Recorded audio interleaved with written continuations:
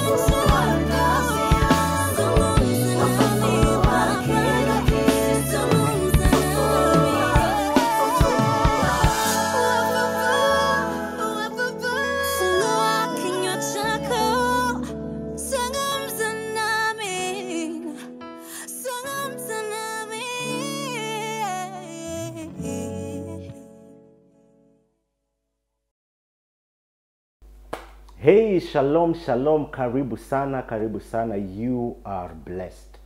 You are blessed. Let me give you a few minutes, even as you join in. Invite your friends, invite family, invite people. Uh, share this on your Facebook pages.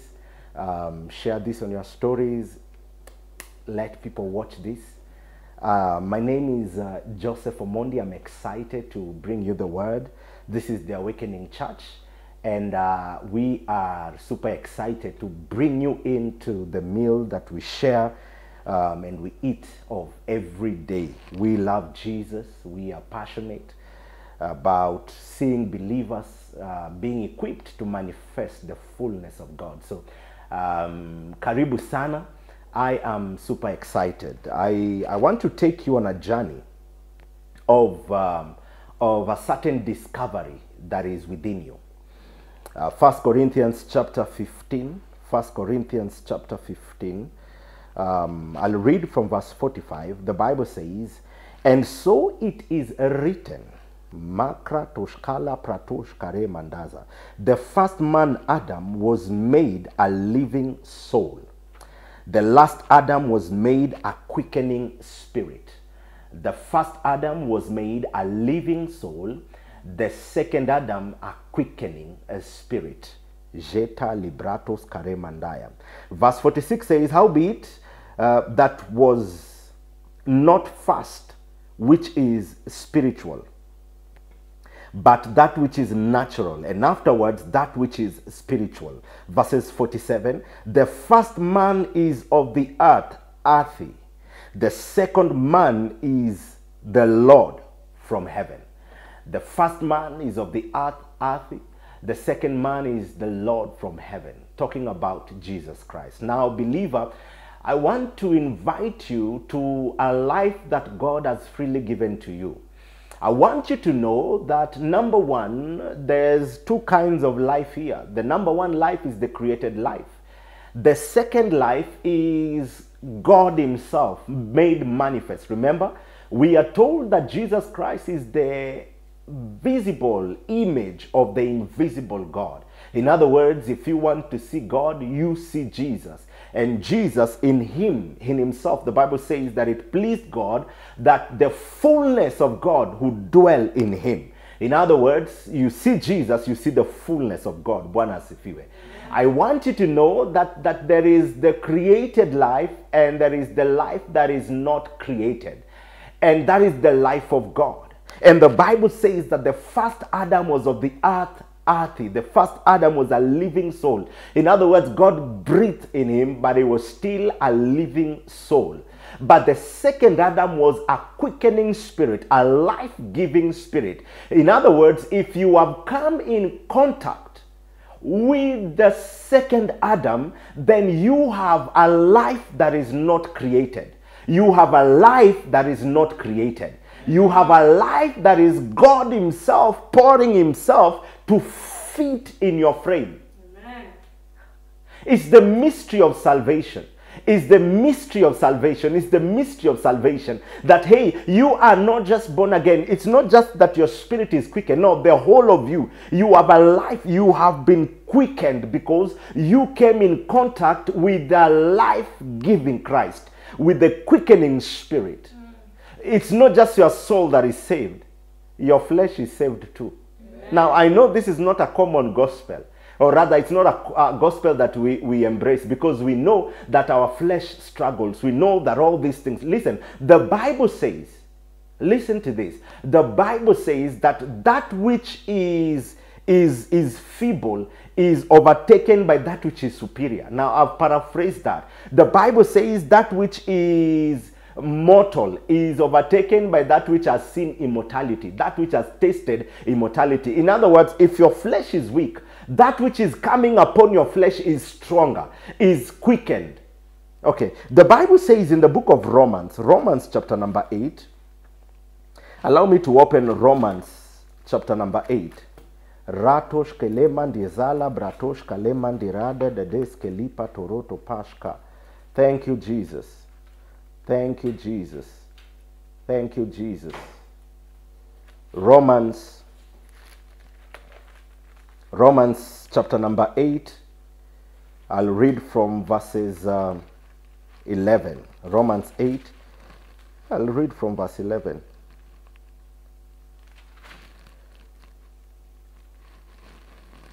The Bible says, But if the spirit of him that raised up Christ from the dead dwells in you, he that raised up Christ from the dead shall also quicken your mortal bodies. So I'm talking about the second Adam is a quickening spirit. What is he quickening? Your mortal body. We were talking a few days, um, a few Sundays ago at the Awakening Church. We were talking about immortality as we have been doing in, in a couple of months now. And we were talking about immortality. And we were seeing that this spirit came not to quicken your spirit because your born again human spirit has already received life. The one thing that this spirit comes to quicken is your mortal body. What is mortal? That which gets sick, that which gets feeble, that which can die, your mortal, your physical body. Do you know that once you're born again, whether you believe in immortality or not, if you go or you, you can lose your body, you can lose your body especially if you don't believe in immortality. But you can lose this body, but you have not lost your spirit. Why? Because your spirit was quickened. Your, your, your spirit received a regeneration. Your spirit has been regenerated. In other words, your dwelling is the abode of God. You, you know, you and God, you and Christ, you have been made one. But I'm here to let you know that, hey, the same spirit that raised Christ from the dead, that same spirit can quicken your mortal bodies. This is your your your flesh is your mortal body. It can quicken your mortal body. So the first adam was of the earth earthy. And in the first adam there is death. In the first adam there is curses. In the first adam the, the- you you fall short. In the first Adam, you need certain revelations for you to be able to even see God or to move with God. In the first Adam, you need sacrifices, you need to give constantly. But the second Adam is a quickening spirit. In other words, nothing can die in the presence of the second Adam. So the Bible says the first man is of the earth, earthy. The second man is the Lord from heaven.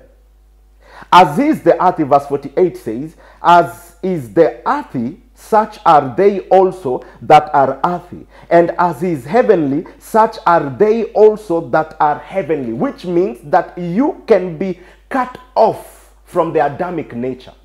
It is the desire of God, it is the will of God, it is the plan of God that you are cut off. That you are cut off from the Adamic nature. The Bible says, as it is with the first Adam, as it is with the Adam that is from the earthy. Okay, so that means that you struggle before you can put food on the table. Ah, because the first Adam carried with him curses at some point.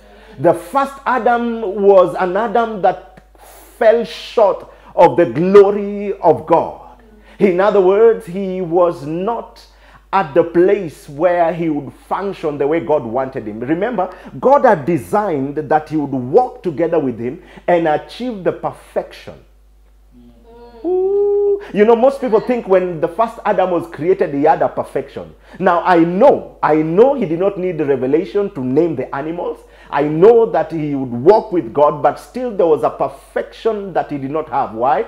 Because that perfection is only found in Christ Jesus. The fullness of God is in Christ Jesus. Now, he would only just fellowship with God. And that's why God left, would leave, and come back later. But for you, God has designed it in such a way that he makes his abode in you. Oh, ho, ho, ho, ho, ho, ho, ho. The ark of the covenant is you. the ark of the covenant is you. Ratos kelema, dizala, bratos kelema. Zutare patish kelepa. Believer, if you hear what I am telling you, you will also realize that, that we are the carriers of the glory of God. We are the carriers. The first Adam carried death. The first Adam carried shortcomings. His children fought each other. There was no peace. But even though death was written somewhere, you know, he, he, he, he would die. He could now die because that's a curse that came. The Bible says that you can be liberated and you can choose the kind of life that you want. Now, I hear people say, you know, nowadays you have to struggle before ABCD happens. I hear people say, you know, you cannot just, you know, you must be, you know, there's someone who believes that you can live in houses that you did not build because it is scripture. Mm. And there's someone who cannot allow themselves to believe the same way because they believe you must work hard. In other words, the kind of teaching that you subject yourself to, that will you live. The Bible says, So as it was with the earthy, such are they also. As it was with the first Adam, such are they also who have taken on to that nature or who have refused to graduate from that nature. Mm. But the Bible says, as it is with the new, with the new, with the second Adam, so is it with everyone who embraces this revelation. So is it with everyone who embraces this truth. There is a truth that would liberate you, there's a truth that would set you free. And that is this the second Adam came to make your life better. He is a rejuvenating, he is a quickening spirit. So your body is quickened. You are better than the first Adam. Shataya Mariba Koyo Bata Scalamanda. The first Adam was given a, a location on the earth, which was the Garden of Eden. Even though God would come and visit it, eh, it was still a location in the earth that he was given. Do you hear what I'm saying?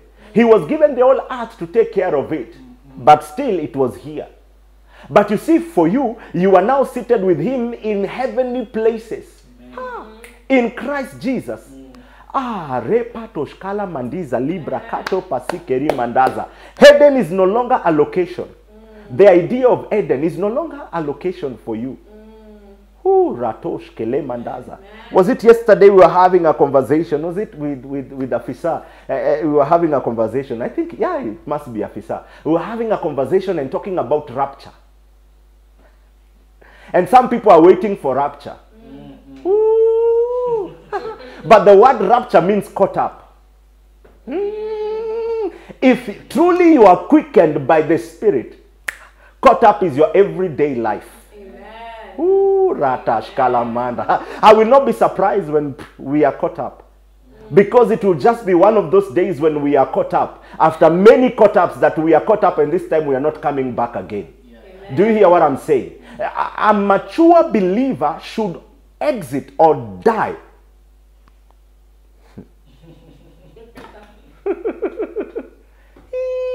At will. Amen. Any death that you die without a revelation, or you just give up, even if angels came to you, is a premature death. Mm. the first Adam is a quickening spirit. A quickening spirit. May you be quickened now. If you're sick in your body, may you be quickened now.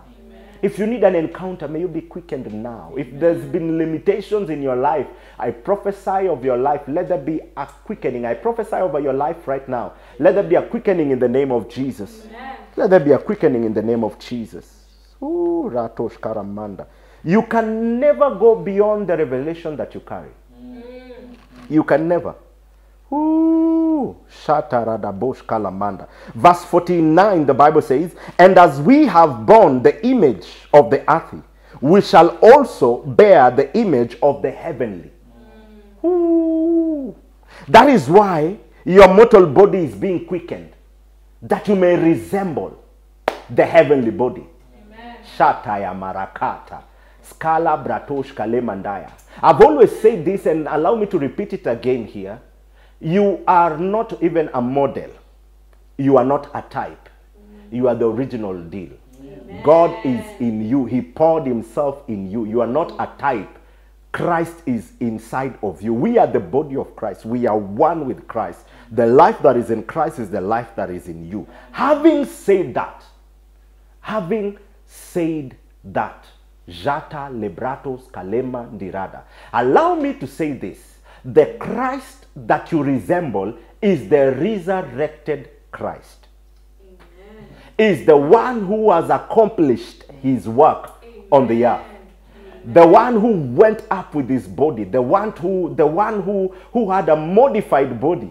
Let me call it that for lack of a better word. That is what when your body is quickened should look like.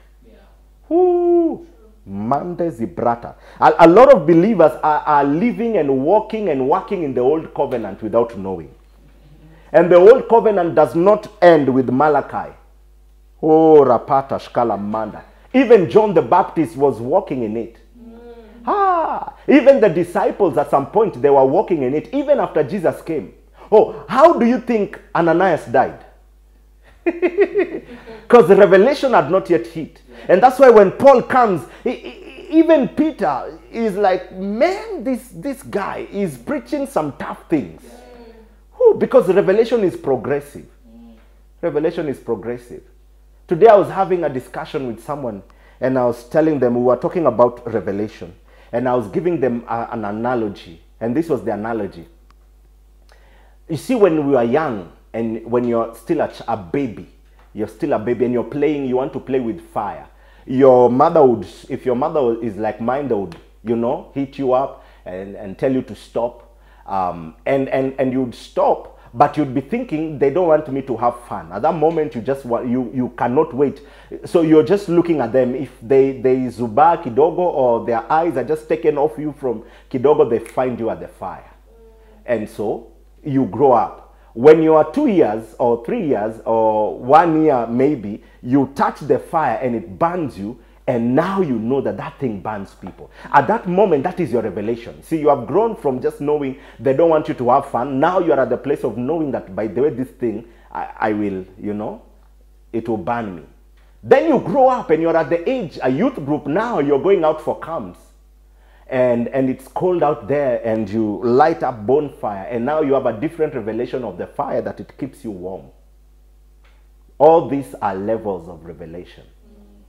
Ha. The Bible says it pleases God who desires that all men be saved. Salvation is not just being saved from sin, it is also being saved from everything that sin comes with. That is sickness, that is death, that is stagnation, uh, that is curses. From today, in the name of Jesus, we deliver you from every curse. In the name of Jesus. There's coming a tribe that is rising up a tribe that is going to embrace this non-created life. Oh, Rapota Shkalamanda. A, a, a tribe that will graduate from their Adamic essence. That, that you graduate from your Adamic nature. Who I want to read a scripture here. I want to read a scripture here. Galatians. Galatians chapter 1. Now, this scripture, I've read it so many times and pass it because it doesn't look like it has much. Galatians, the Bible says, uh, chapter 1, verses 15. But when it pleased God, who separated me from my mother's womb and called me by his grace, he separated me from my mother's womb. Now, I used to read it and just think that, you know what, from the time this baby was born, he was separated. But this is not what the Bible is talking about. Remember, there are different levels of calling. Jeremiah talks about a different thing. Before you were born, while you are still in your mother's womb, I knew you. So the separation should have started from there. What is he talking about? That separation from your Adamic nature. Who? Kala brata. He says to reveal his son in me, that I might preach him among the heathens, immediately conferred, not with flesh and blood.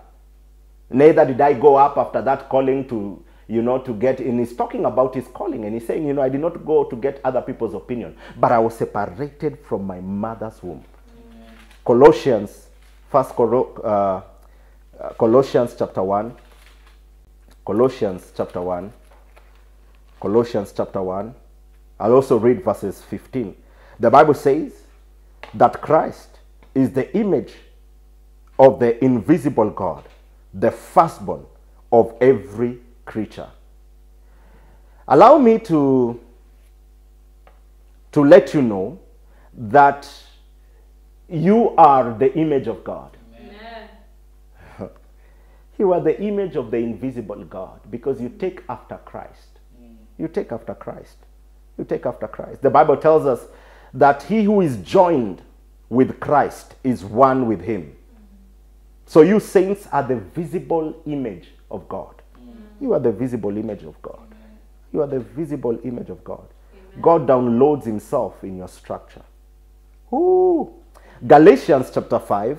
Galatians chapter 5, and this will be our, probably our last scripture. I've said probably because I might be excited and read another scripture, and I don't want to lie to you. Uh, Galatians chapter 5, verses 25. Um, hmm. Ah. The Bible says, if we live in the Spirit, let us also walk in the Spirit. Mm. Mm. Let us not be desirous of vainglory, provoking one another, envying one another. But if we live by the Spirit, let us also walk in the Spirit.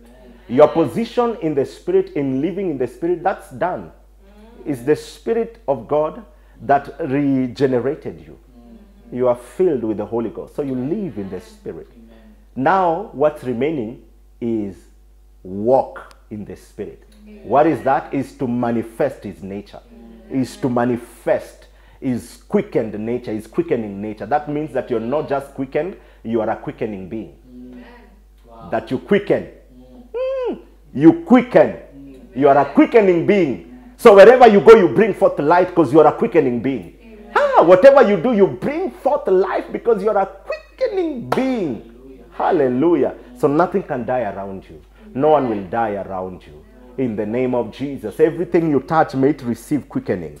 A quickening right now. In the name of Jesus. In the name of Jesus. In the name of Jesus. Ha rapotash kalema ndizala. The image of Christ defines you. The image of Jesus Christ defines you. You are blessed. It's a beautiful day. I hope you are sharing. Share this video. Share this video. Let them start watching it even from the start. You are blessed. You are blessed. You are blessed. You are blessed. You are blessed. Amen. You are blessed. You are blessed. You are blessed. Amen. Amen. Allow me to pray for you. If you don't know Jesus, I want to lead you to Jesus right now. I want to lead you to Jesus. Or you are born again and you just don't know. Your life has not just been. I'm not calling you to be born again again because you're already born again. I'm calling you to have the faith of knowing that you gave your life to Jesus and He will never leave you nor forsake you. And if you have backslidden in the definition of that word, true definition of that word, then I'm calling you back. I'm calling you back. It's a simple prayer. Say, Lord Jesus, Lord Jesus, I confess you I confess as my Lord as my and my Savior. and my I give my life to you. My life You are the Lord of my life. to the Lord of my life. In Jesus' name. In Jesus' name, Amen. amen. Imagine you've just confessed Him as Lord over your life. Amen. I want to pray for those that are sick right now, those that need breakthroughs. Father, in the name of Jesus, I pray over those that are sick right now. I declare healing, I declare strength, stability in the name of Jesus. May you rise up from that bed. May you wake up, stand up from that wheelchair in the name of Jesus. Oh, Rabotash, Kalamandaza. Peradventure, you're watching me and you have someone dead next to you. I declare healing right now. Life, receive life. Receive the breath of God. Receive the breath of God right now. Ha, receive the breath of God. Ha, Rapatosh, Kalamandazi, Bratosh, Kala. We call back your soul in Jesus' name. Your spirit in Jesus' name. In Jesus' name. In Jesus' name. I pray right now over everyone that is facing difficulties of any kind. I declare breakthroughs right now. Let there be a visitation in Jesus' name. Amen. Karibu sana, you are blessed. Celebrate grace.